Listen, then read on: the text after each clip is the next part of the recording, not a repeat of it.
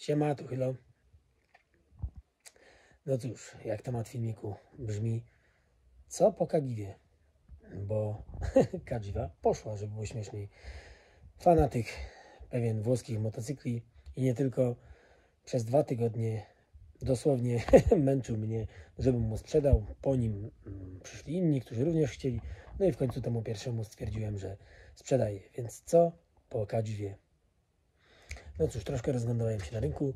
Nie było łatwo. Naprawdę jest masakra po prostu to, co jest na rynku, jakieś takie czupy, nie wiadomo co. Ale nie wszystko złoto, co się świeci, ale złoto świeci się zawsze.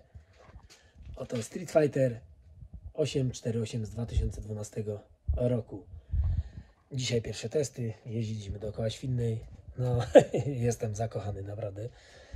E, A jak to się zaczęło? Kadziwa sprzedała się w piątek o godzinie no, za 10, 22 i o godzinie 22.05 wlazłem na Alixa, znalazłem tego to przepięknego złociaka Bumblebee, bo jest naprawdę przepiękny. No i stwierdziłem, że finansowo mnie puści. Zadzwoniłem po numer, żona mnie zaczęła ganić, mówi nie, nie, nie, nie, nie dzwoń, to już jest późno, po 22 się nie dzwoni. No mówię, zadzwonię, a chłop do mnie, stary, nie wierzę, ty do mnie dzwonisz? No mówię, no jak, no, no, no dzwonię, ale nie rozumiem. Naprawdę nie wierzę, ty do mnie dzwonisz? Chłopie, obejrzałem całego twojego YouTube'a. Wszystko o Maserati i włoskich motocyklach. Mówię, co ty gadasz, ale skąd wiesz, że ja dzwonię? Poznałem cię po głosie. Normalnie, no miło mi, nie ukrywam. Bardzo fajnie. I co tu dużo mówić, no motocykl jest przepiękny. Street Fighter 848 marzył mi się od dawna. Wszyscy marzą o Street Fighterze 1098. Ja też o nim marzyłem. Jednak kiedy wyszło 848 pomyślałem, to będzie idealny sprzęt dla mnie, bo jest leciutki, 169 kg na sucho. I co ważne, Street Fighter 1098 powstał na bazie yy, Sporta z Ducati 1098. Potem była wersja S na Olinsach. Natomiast ten powstał na takiej zasadzie, że najpierw był ścig 848, była również wersja S, ale wyszła też wersja Evo. I kierownictwo Ducati, dopiero jak wyszła wersja Evo, stwierdziło, że z tej wersji Evo zrobią tego oto dzika. Dlatego jest, ktoś tam już szaleje, dlatego jest świetnie wypracowany. Mamy tutaj Zawez Marcocci, który uwielbiam, wiecie doskonale z moich filmów. Miałem go w Guzzi, miałem go w Morini, w Benelli. Yy, Teraz w Kadziwie po prostu Marcocci jest dla mnie idealny, nie potrzebuję Olica. Yy, wiadomo, radialne zaciski Brembo, to nie ma o czym gadać. Przepiękny monowahacz. Tu jeszcze jakieś mody delikatne wejdą, ale mam pierwszy motocykl, w którym de facto nie mam za bardzo co zmieniać.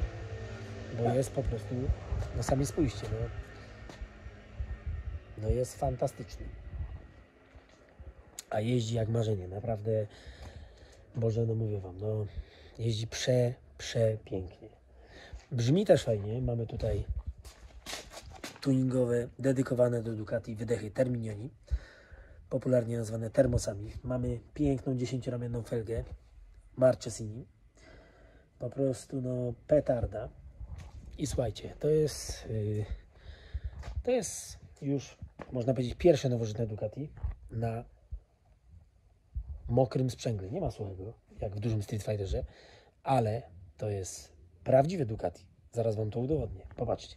Ducati słynęło jak i Alfy laweciarze, że się w warsztatach i w ogóle, ale z jednej rzeczy zawsze wszyscy mówili, że prawdziwe Ducati moi drodzy, nie ma czego? Zaraz zobaczycie.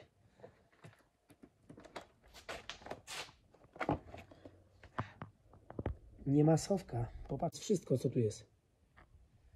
Prawdziwe Ducati nie ma. I to Ducati. Ten malusieńki tutaj kluczyk to jest jedyne, co tutaj sugeruje, że możemy tu coś w ogóle przewieźć. Także jest to naprawdę prawdziwe Ducati. A jak brzmi? Zaraz Wam pokażę. Stacyjka jest dokładnie tak, uwielbiam. na środku, tutaj pół nasady baku, no pierdol, ale cieszy, strasznie to uwielbiam we włoskich motocyklach. Także co, posłuchajmy jak chodzi. Pełna elektronika, nie ma już analogii, trochę ubalewam, ale przy, do przyzwyczajenia. Chcę tutaj tylko sprzęgiełko.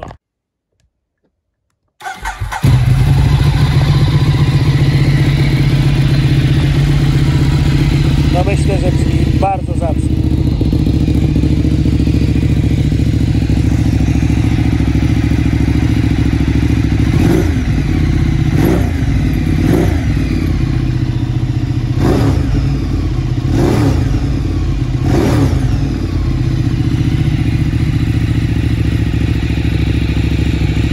Petarda.